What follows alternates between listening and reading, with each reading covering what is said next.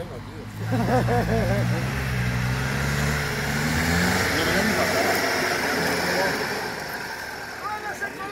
Pero bueno.